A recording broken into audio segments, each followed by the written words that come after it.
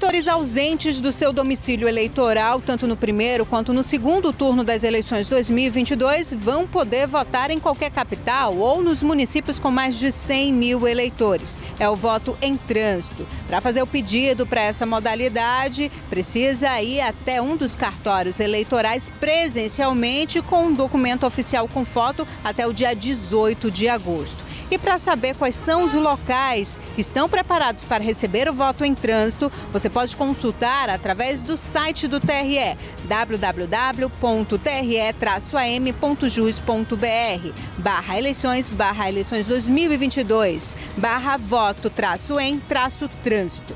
É inovação, é compromisso com a cidadania, é Grupo Norte de Comunicação nas eleições 2022.